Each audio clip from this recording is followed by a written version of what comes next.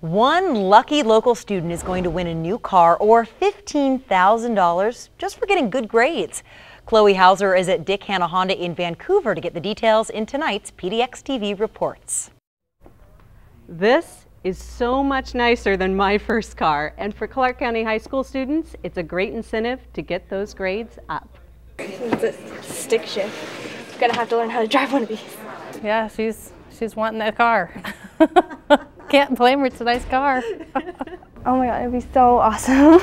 Stephanie and her mom aren't the only ones excited about Dick Hannah Honda's Drive for Excellence. Clark County High School students just need to keep a 3.6 GPA or raise their GPA by half a point over first semester to be eligible to win the new Honda CRZ or $15,000. Educators like Carol Mackey are finding that's a pretty powerful motivator. So part of what's happened is some of these students, like one of our students is here today, he came in and said, "No, I'm interested in this, but you know, my grade point, mm, how much, you know, what grade do I have to make?" So then you start doing the math. How many B's do I have to make? Or C's? And he says, "Oh, I can do that." And so, you know, that's what it's all about. Daniel would agree. He's the student that asked Carol for help. With the CRZ driving him, he's already raised his GPA by one and a half points over first semester. He still wants to win that car, but he already feels pretty proud. I'm actually getting good grades now, and I mean, it's just a really good thing. If I win the car, that's even great, but I'm, I got good grades, so that's good. Oh! Oh, there we go. But not all students in the Drive for Excellence are as focused on raising their GPA. Ryan is another Clark County High School student, and he says getting the grades is great. But getting out of his mom's minivan, that's the real motivation. I'm kind of pulling the man van thing right now. and it's not bad, but I'd rather be in a different car.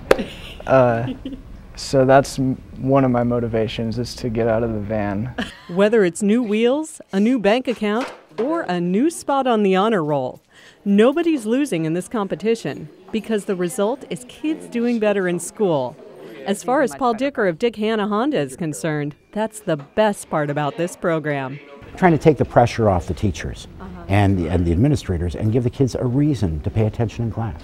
Until the winner is announced in July, that's just what these kids and all other Clark County High School students have to do pay attention, study, and dream a little. It's a good car. Looks like it'd be easy to drive. To get your kid registered or to learn more, just log on to Dick Hannah Honda's Facebook page and we've got a link on kptv.com. For PDX TV Reports, I'm Chloe Houser, the 8 o'clock news. Pretty good deal. The man minivan. van. I haven't yeah. heard it called a man van before, I had to but I drive like my it. minivan for a while. But um, wow. And I remember the like the '75 Plymouth Valley Valiant. My mom's car I had to drive. Yeah. I drove a mini too. My mom's yeah. For a wow. bit. It's like a rite of passage, except for so. when you're an adult and yeah. it's your wife's. Then it's. Yeah, you're right. Whatever. What do you mean? But um, okay. Hey, we have a live view. Let's go to the soccer game. I think we have Air 12 up again. There we go.